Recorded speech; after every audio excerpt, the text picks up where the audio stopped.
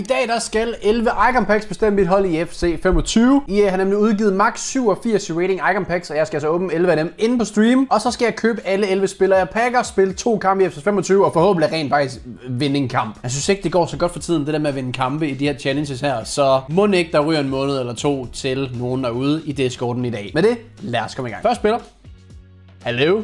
Bro, 5 Hvorfor tænker jeg ulet? Ah, åh, oh, oh, okay, jeg skulle til at sige Hernandez Crespo. Okay. En angriber og en fin start. Men er han god dog? Pace?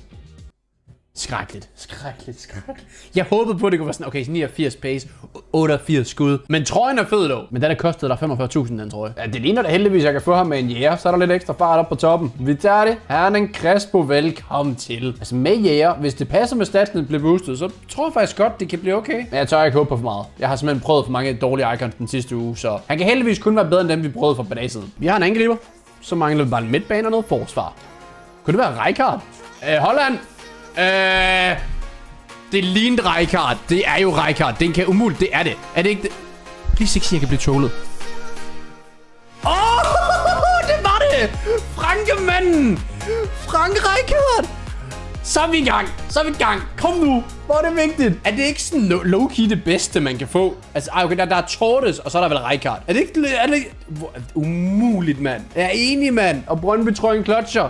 Så skal FCK fansen i gang. I skal til at steppe op. Brøndby de foran. Come on. Fedt kort. Kan spille centerback, hvis vi er... Tror jeg. Det ved jeg ikke. Det tror jeg, han kan. Se på prisen siger. Ja, okay, en halv mil. Så der, der er vi ikke spørgsmål om, om dobbelt det der. CDM central forsvarsspiller. Så hvis der er nogen, der kører femmands og sætter ham på defensiv midtbane, så har de seks forsvarsspillere eller hvad? Okay, det ved jeg godt, den har med. Oj, vi kan lige få den med en skygge. Kom, kom. Ja, tak. Snipe-maskinen er tilbage. Frank Rijkaard. Jeg ved stadig ikke helt, øh, bliver det en midtbane? Bliver det en forsvarsspiller? Kommer nok ud, eller an på, hvad vi pakker senere, men øh, det er et fedt kort. Det kan dog også blive en dyr video, hvis det her det fortsætter. Heldigvis har jeg godt med coins, men øh, er 500.000.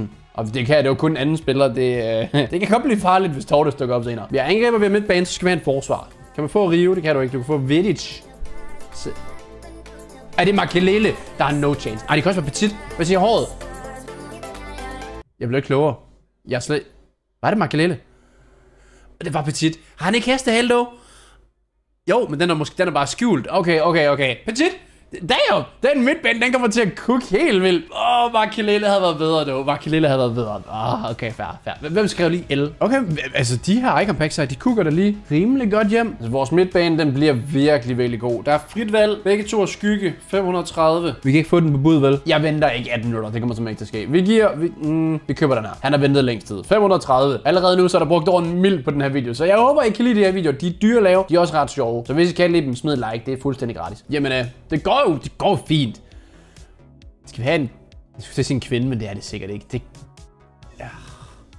Hvem, hvem, hvem vil vi have? Gerard vil jeg gerne have med powershotet.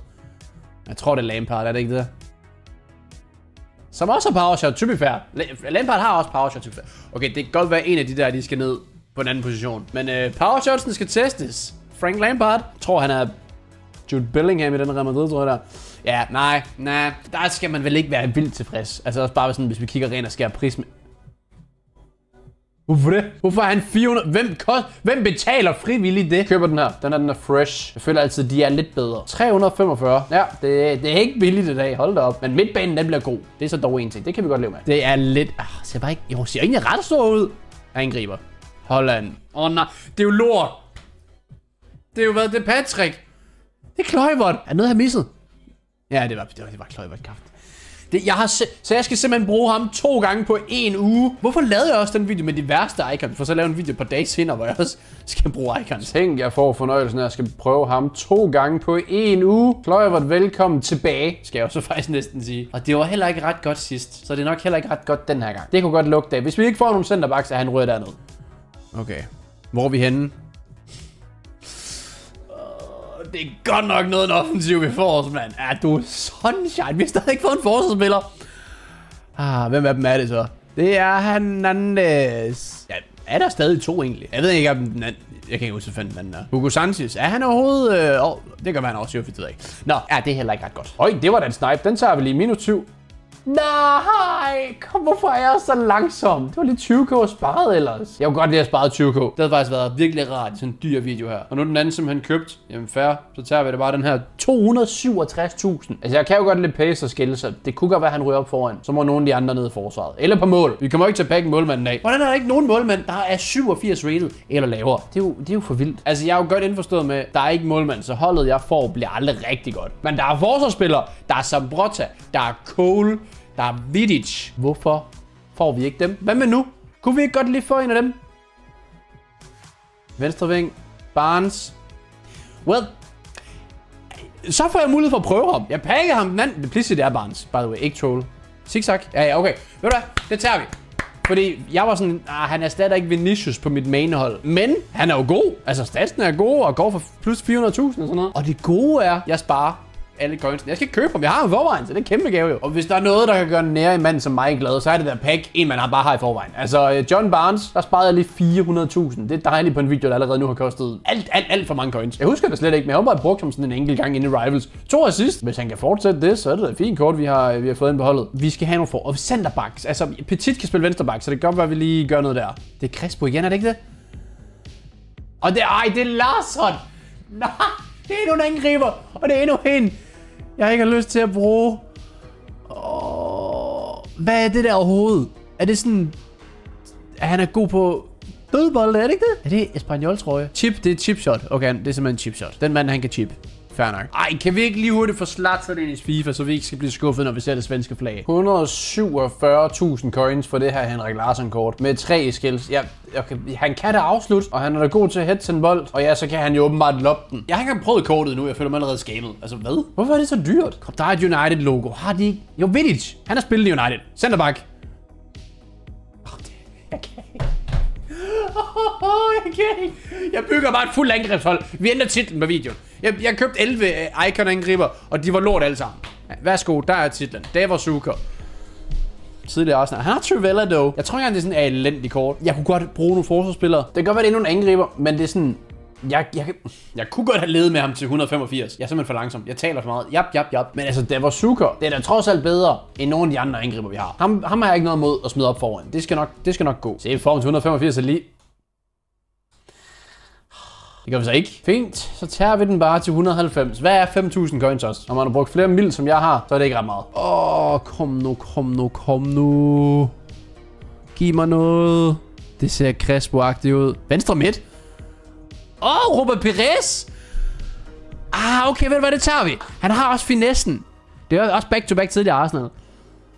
Finesse siger folk jo er fuldstændig broken, så der er han jo heldigvis gave nok. Okay, 281.000 coins for Robert Perez, så håber jeg, at den der finesse der, den bare er spitse, eller hvad man nu kalder det på fransk, øh, baguette eller sådan noget. Han er jo tidligere Arsenal, så det ser jeg frem til. Og ja, højre midt, cam, venstre ving. Det kunne godt lugte af en højre midt. Det kunne det godt. Hmm. Igen, jeg tænker, han skal næsten også op foran. Vi skal op og prøve den der finesse. Sådan et Kløjvert, Larsen, Crespo. Væk med dem. Ned i forsvaret. Ned i målet. Jeg har ikke helt besluttet for, hvem der skal på kassen, men vi, vi burde næsten bare sige, den sidste spiller, vi får, du på mål.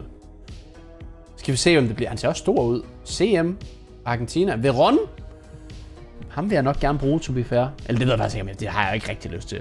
Men det er mere, fordi han rent faktisk kan få lidt kæmpe. Ah, men igen, jeg har allerede en del midtbandspillere. Så ikke lige nogen, ikke lige nogen, ikke lige nogen Fernando Torres op til carry. Ikke nogen Michael Shannon på midtbanen. Ikke nogen Cole eller Sambrota, de har gode backs. Ja, yeah, okay. Det er stadig, stadig en dyr video. Ja, ikke verdens vildeste hold, dog. Og sidste spiller bliver Juan Sebastian Veron. Kunne godt være, at han faktisk bare blev målmand, ja. Hvad høj er han? 1,86. Det kunne han snilt blive. 11 spillere pakket, 11 spillere købt. Nu skal vi sammensætte det hold. Vi har ikke nogen målmand, ikke nogen centerbacks. Vi vil heller ikke have nogen højre bak, så spændt på, hvordan det ender med at se ud. Jeg ved ikke, om jeg har kukket, men jeg synes faktisk, det er okay. Her har vi de 11 chefer, der skinner løs. De forreste 6, de har fuld kæmpe, de bedste 6 har ikke kæmpe. Så der er lidt et tema. De gad ikke give os forsvarsspillere. Fair nok. En enkelt Vidic eller sådan noget er virkelig, virkelig pyntet. Sol Campbell, sådan noget. Men det fik vi ikke, så vi må bære over med, hvad vi har, og det er Veron på mål. Sådan er det. Tough luck. Du er den sidste, der dukker op. Du er den sidste, der bliver sat ind. Du bliver målmand. Det er der ikke nogen, der gider have. Du får det. Crespo er måske ikke det klogeste på bakken. Altså, jeg, jeg ved ikke rigtig, hvad vi gør. Teknisk set så er Kløbert og, og Larsen jo hurtigere, men jeg, tænker, jeg ved ikke hvorfor. Jeg smider dem bare ind i midten. Satser på det bedste. Midtbanen til nu kukker vi. Petit, venstre benet til højre. Lampard i midten. Det hedder han ikke. De hedder begge to Frank. Frank Rijkaard i midten. Der skal lige ligge tilbage. Hvad det defensive anker, som andre ord han har meget arbejde foran sig. Han skal beskytte det her det kan du ikke rigtigt. Lampard til højre, power shot. Jeg kommer til at være der. Det bliver pisfedt. Op foran, der har vi Perez med finessen. Barnes til at løbe. Og øh, Hernandez til øh, forhåbentlig at lave mål. Altså, der er jo rent faktisk for 2. 2,6 har jeg købt for, og 3 millioner coins i alt. Sparet de 400.000 på, på Barnes. Men 3 millioner coins koster det her hold. Så kan det godt være, at halvdelen af holdet, som alle er de defensive er, ikke kan noget som helst overhovedet. Men hvis jeg kan lave nogle mål, så kan jeg stadig vinde kampe. Kommer til at holde clean sheet? Nok ikke. Kommer til at vinde nogle kampe? Nok heller ikke. Men jeg håber. Okay, det er rivals tid. To kampe, anden liv, medmindre jeg taber. Eller hvad? Kan jeg ikke godt tabe en? Så kommer vi ikke til at tredje liv i dag lige meget hvad. Det er fint. Jeg kommer til at vinde. Men taber jeg, så giver vi selvfølgelig en måned væk i trading discorden. Jeg føler, jeg er 200 IQ, hvis jeg ikke lader min modstander se mit hold. Så vi skipper den del, og så kører vi selvfølgelig lige den her, du ved. Bum, bum. Ja, den var endet. Den lever stadig. Bum, bum, bum. Er I klar? I er ikke klar. Bum. Timede jeg overhovedet grønt? Nej. Behøves man det? Åbenbart ikke. Måske finesse rent faktisk er broken. Ruben Pires. Det kunne ikke gøres meget pænere.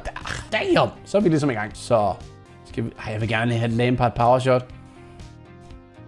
Er det for langt? Udefra? Ja, og du brugte venstre. Okay, Carlos TV. Han skal bare ikke skyde. Han skal bare ikke vide, hvem jeg er på mål. Og vi lever lidt det nu. Åh, det fandt dig ikke. Puh, han hælder simpelthen over. Okay, okay, okay. Fint nok, fint nok. Petit bryder højt. Det er ligesom det skal være. Finessen. Så det der, det falder altså ikke noget af. Før var den ikke grøn op i corner. Nu er den grøn langt over. Hvad nu logikken? Skal man ikke time, eller hvad? Jeg stod der nærmest samme sted. Okay, vi bryder godt. Vi står faktisk rigtig fint lige nu. Hernandez. Ja, altså, hvis det ikke er Van Dijk, ikke også, så står der allerede 2-0 deroppe. Så kukker vi ham og sparker den ind. Men nej, Van Dijk, han har andre planer. Okay, prøv lige... Henrik Larsson, mine damer og herrer. Det er bedre end Van Dijk, så I det der? Uh, han tager lige en pause. Please quit. Oh my god, det er det mest tilfredsstillende rage quit, jeg har fået i FC25. Det der, det, det, det, det gør mig glad at se, at jeg kan få folk til at quit, når min bæreste Fem. Værste fem er jo totalt ude position. Altså Van Dijk har nærmest mere kombineret i forsvar, samlet i forsvar, kombineret med hele mit forsvar. Og vi får ham til at quit på 1-0. Det blev for pinligt. Det blev for meget for ham. Road to elite liv. Og 15 point. Tænk, jeg har 10 point. Wow. Hvis jeg lige kan hive back-to-back rage quits, eller bare back-to-back sejre, så, altså, så er jeg så gast. Så lad os se. Han har noget sådan, han har noget Rodrigo. Ja, det er fint. Kamp nummer to. Vi starter svæk med bolden, så jeg kan ikke lige udføre min øh, geniale kick-off, vi lavede før. Ikke offside. Hallo? Hvem har vi her? Petit. Han er så venstrebenet. Den skal være der. Kom nu, returbolden, returbolden, retur. Ej, tag den, tag den. Åh, oh, ej, vi starter ellers godt ud igen. Oj, hallo, der er gave. Akib. Det var en elendig afslutning, men jeg kan mærke, at han er nervøs allerede. Han er shaky. Prøv at se ham. Og så lige den her. Den var så rød, men det er alligevel sikkert på vej ind. Så lige den her. Er I klar? Frank Lampard. Det er derfor, man har ham. Åh, oh, okay. Jeg sagde, at jeg ikke forstod, at man betalte 350, eller hvad det kostede. Men når han kan gøre det der, så forstår jeg det jo godt. Åh, oh, ja. Flæk ham, flæk ham, flæk ham. Altså, det var og alle dem der, de, de kukker dernede. Okay, nu, nu får jeg mig selvtillid. Væk, væk. Vend den. Træk en offside. Et eller andet. Okay, det her, det kunne gøre den galt. Det kunne gøre den galt. Rykker lige keeper. Han valgte så ikke at bruge hænderne. Fair nok. Nå, kick-off tid. Får vi lige ham til at løbe. Får vi lige tilbage. Bum. Der. Tæt på. Den lever jo. Og der, jeg er jo en maskine på kick-off, om det er mening eller ej, det snakker vi ikke om. Pointen er, vi laver basser. Og han tilter. Når, når, man ved bare, når modstanderen ikke starter kampen med det samme, så fordi han sidder sådan... Og det ved jeg, fordi det er sådan, jeg selv sidder. Prøv den igen. Nej!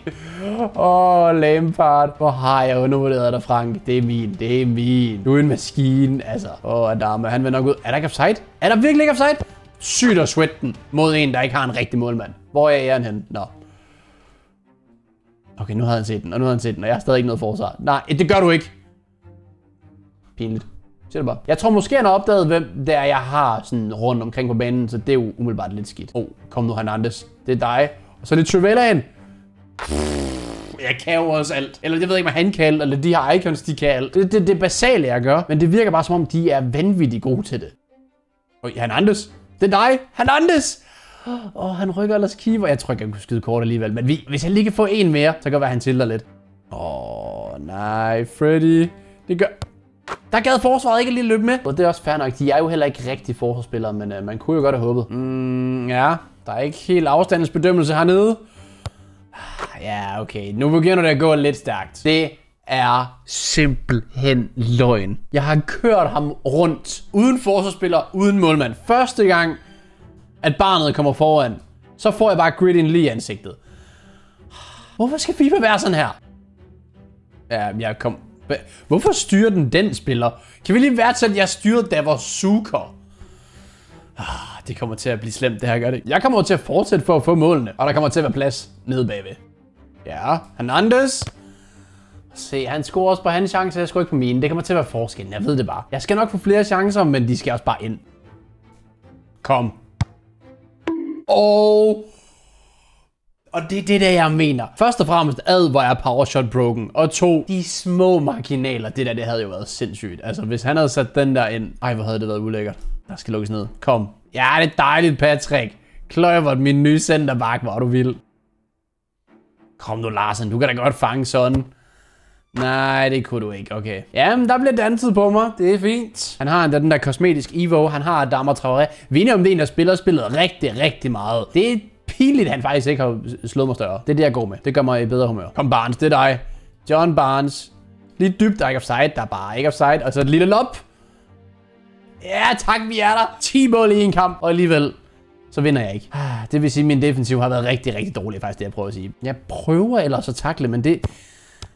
Godt taget, Veron. Godt taget. Det er hårde arbejdsbetingelser, jeg har, vil jeg lige sige. Kan vi ikke lige skubbe for et late comeback? Hvis vi lige... Jeg så lidt tiden. Det kan vi ikke. Kom. Prøv at finde næsten.